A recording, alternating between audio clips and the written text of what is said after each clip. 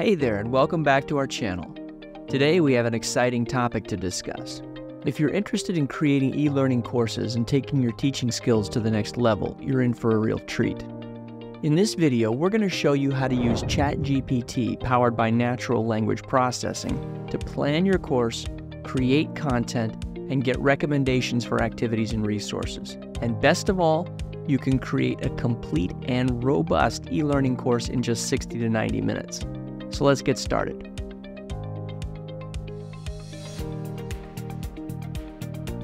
Before we dive into the details, there is one important step you need to take.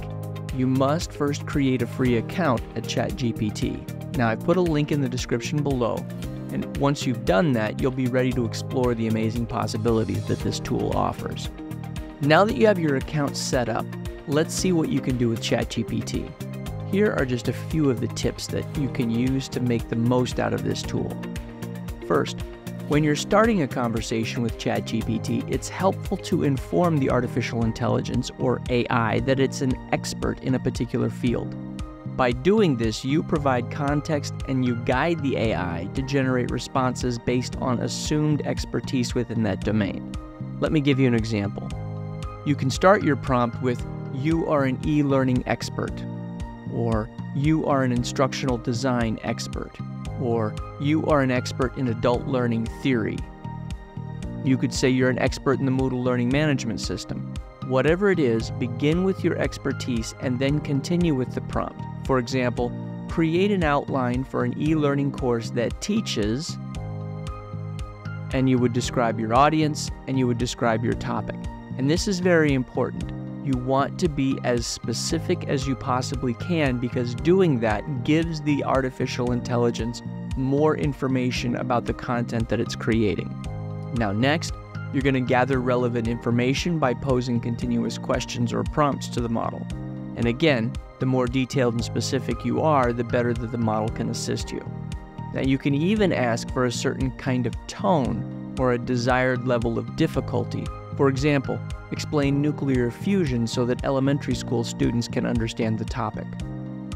Once you've gathered the explanations, examples, and insights from ChatGPT, it's time to structure the information into logical lessons or modules or chapters to ensure a coherent flow of the content. Now that you've got your course structure, you can use ChatGPT to generate learning objectives, course overviews, quizzes, rubrics, exercises, and even interactive elements to keep your learners engaged.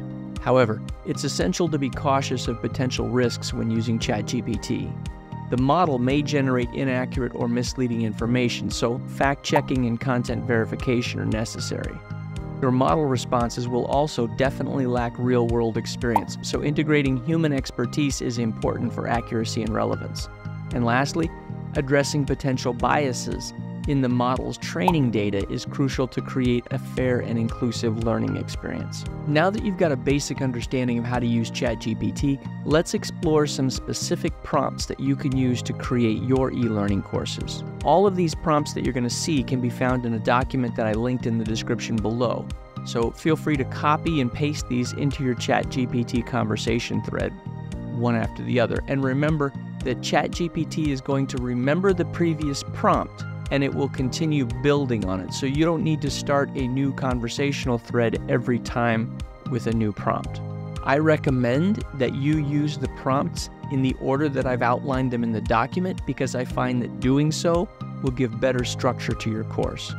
Lastly, to ensure long term retention and to combat the Ebbinghaus forgetting curve, ChatGPT can help you to create activities and resources to be completed at different intervals after the course ends.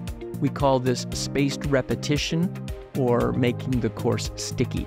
As a bonus, ChatGPT can also provide you with suggestions to gamify your course, and it can offer you ways to measure the return on investment, both quantitatively and qualitatively. So, whether you're an educator, a corporate trainer, or anyone interested in e learning, ChatGPT can be a really valuable tool in your arsenal.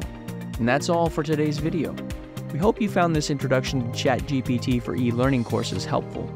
If you did, don't forget to like this video and subscribe to our channel for more exciting content. Thanks for watching, and we'll see you in the next video.